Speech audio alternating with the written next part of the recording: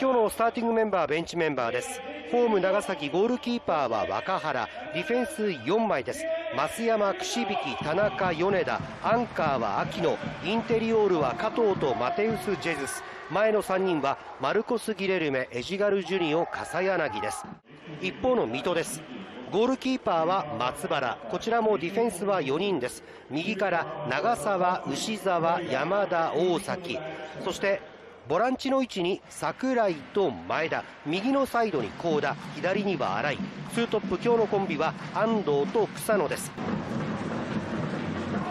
水戸はあの30代の選手がキーパーの松原だけでさあその安藤がボールを持った。横に送っていく、つながった。草野右足振った。ポストに当たった。先ほどのシーンです。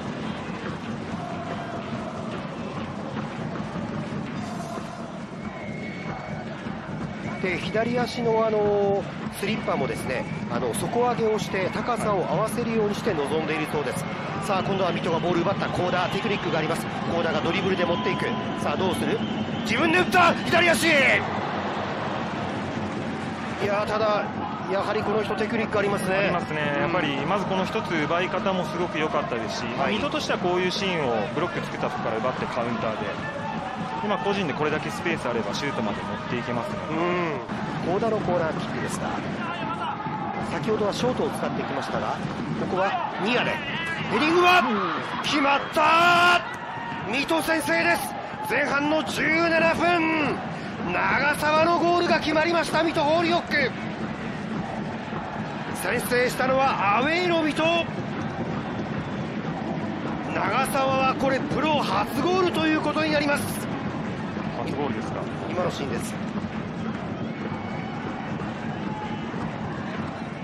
5枚をどう釣り出すか引き出すか、まあ、そういうボール回しだったり、まあ、際どいところにこうこういうボールですね。こういうボールをどんどん入れていけば、まあ、ズレが生じて米田のクロスバエイジガルだ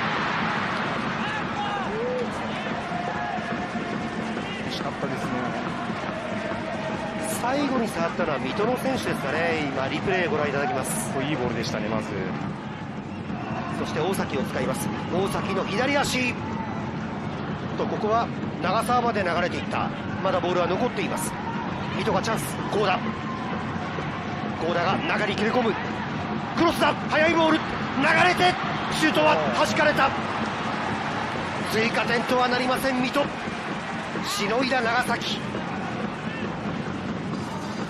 は草野ですか？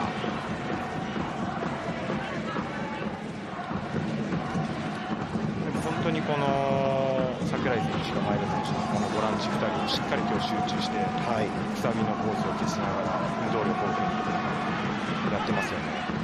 さあボールはマテウスのクロスはいいボールだ。加藤。松原セーブでしたね、これ。ただ、まだボールキープしています。時間はあります。おすごい。マルコス、一人で行く。マテウスへ渡す。マテウスのミドルだ決まった長崎同点前半アディショナルタイムマテウスの左足ゴラッソです前半のうちに追いついてみせた長崎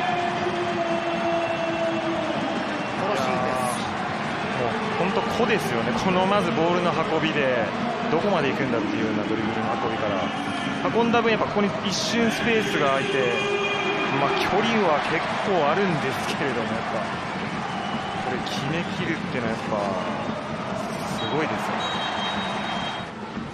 がむしゃらに頑張る。いうねコメントを発表しています。その中島大花が入ってきました。安藤に代わっての長崎ゆかりの2人の交代ということになりますが速い攻撃の時はシュートまで結びついてますよね。そうですね、まあ、時間かけるとどうしてもこう水戸としてはブロック5枚作ってしまうので、はい、まあ、その前にシュートを打ってしまうっていうのはやっぱ一つ後半特にスペースが空いてくる。さあここは草野からボールが出た、うん、中島左足決まった中島の動勝ち越しだ水戸に移籍して初ゴールです。しかも後半から入ったばかり。起用に応えてみせました中島大花ある意味ホームスタジアムともいえるこのトランスコスモススタジアムで中島の勝ち越し弾今のシーンです。このランニングですよね、これが中島選手っていうような動き出しと、まあ、パスのタイミングと体一回ぶつけてるんですよね。前に。体の強さもそうですし。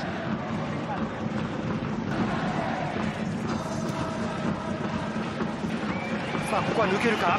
大崎とマテウス。マテウスがボールを拾った。かわしていく。股の間。マテウス右足クロス。流れていく。マルコスは打てない。もう一度。決まるか決まらない。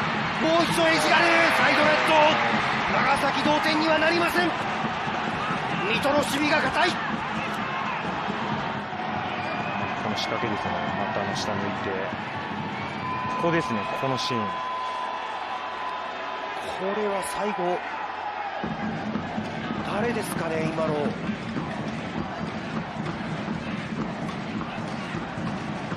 ちょっと確認できませんでしたが、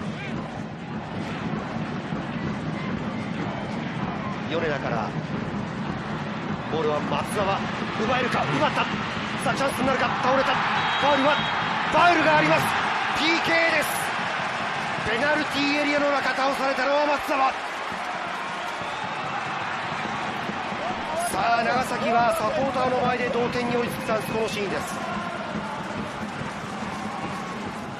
蹴るのはビジガルジュニオ。さあ長崎同点になるか？63分。決め止めた。もう一度。もう一度。うん入らない松原ファインセーブ。同点にはさせません。このシーン。完全にタイミング合ってましたね。さらに2次攻撃3次攻撃も。そうですね。水戸は防ぎました残りの時間帯でスコアがよく動く時間帯にも入ってきました。新井のクロス。ヘディング！ここも中島枠は捉えることができませんでした。いいボールでしたね。水戸は時間を使うようです。ショートコーナーボールを出しましたここは長崎ボール。ここで試合終了。勝ったのは水戸ホーリーホーク5試合ぶりの白星を手にしました。ここまでリーグ戦1敗しかしていなかった長崎に2つ目の黒星をつける価値ある勝利です。残留争いから抜け出す巻き返しに向けて大きな大きな1勝を手にしました。